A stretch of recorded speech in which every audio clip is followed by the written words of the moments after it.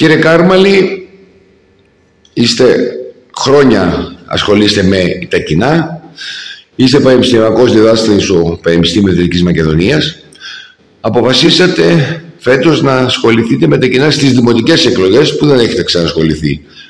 Πώς ήρθε αυτή η απόφαση; Ε, να σας καλωσορίσω καταρχήν. Ε, ευχαριστώ πολύ για τη φιλοξενία.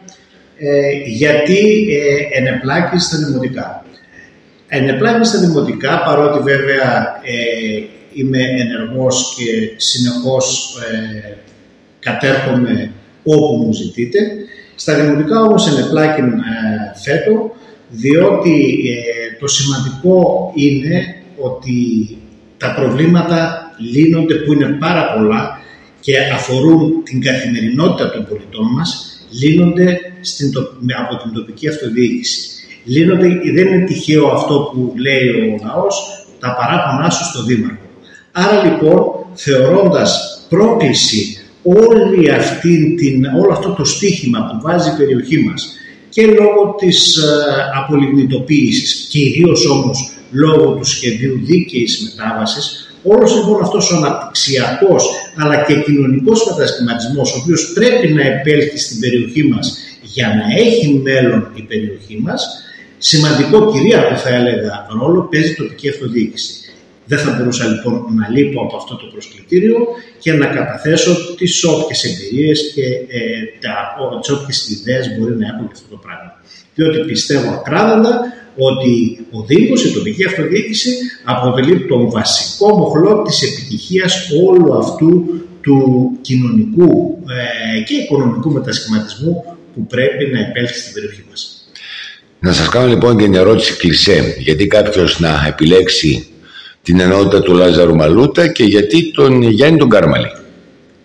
Ε, είναι μια πολύ απλή απάντηση διότι δεν χωρά ε, πειραματισμούς όπως ανέφερα και προηγουμένως ε, το στίχημα για την περιοχή μας είναι κυρίαρχο, είναι κομβικό, δεν μπορούμε να παίξουμε, εξάλλου είχαμε παίξει τις προηγούμενες περιόδους και αναφέρομαι στην περίοδο 15-19, είδαμε τα αποτελέσματα αυτού, αυτής της επιλογής. Δίκαιης, δεν έχω να σχολιάσω την επιλογή από τους πολίτες, είδαμε όμως τα αποτελέσματά τους.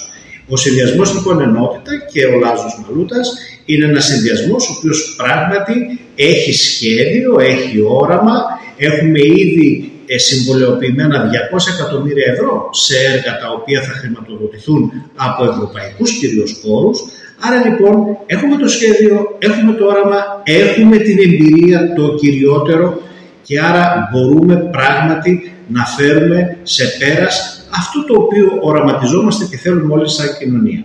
Γιατί κάποιος να ψηφίσει εμένα, διότι έχω ε, μάθει από μικρό παιδί να εργάζομαι, έχω μάθει από μικρό παιδί να προσπαθώ για το καλό του τόπου, δεν έφυγα από τον τόπο μου παρότι θα μπορούσα να φύγω, δεν ε, βιοπόρησα και δεν σταδιοδρόμησα πουθενά αλλού αλλά στον τόπο μου, θεωρώ μεγάλη μου υποχρέωση να επιστρέψω όλα αυτά τα οποία με έδωσε ο τόπος μου για να πάρω αυτή τη θέση και να έχω αυτή τη θέση την οποία έχω και άρα λοιπόν πιστεύω ότι είναι η ελάχιστη υποχρέωση για τον τόπο μου να προσφέρω εάν φυσικά με επιλέξουν οι πολίτες της περιοχής μας. Αν κατάλαβα καλά, θεωρείτε λοιπόν το Λάζαρο Μαλούτα ουσιαστικά τη μόνη λύση για το Δήμο τη μόνη αν θέλετε δοκιμασμένη λύση. Και αυτό που λέτε ουσιαστικά είναι ότι δεν χρειάζεται να κάνουμε δοκιμές γιατί υπάρχει περίπτωση να φτάσουμε στην, να, ναι, στην περίοδο 15-19 που η δοκιμή τελικά απέτυχε για τους δημότες. Βέβαια, να μην παρεξηγηθώ, διότι δεν είμαι από αυτούς που πιστεύουν στον μεσιανισμό. Δεν πιστεύω ότι υπάρχουν μεσίες που θα σώσουν την ελληνική κοινωνία. Ο Λάζος Μαλούτας όμως έχει καταδείξει όλα αυτά τα χρόνια την εργατικότητα την οποία έχει, την σοβαρότητα την οποία έχει, την εμπειρία την οποία έχει πάνω στα διοικητικά και κυρίως στα αυτοδιοικητικά. Άρα λοιπόν κατά τη γνώμη μου είναι η καλύτερη, η επιλογή.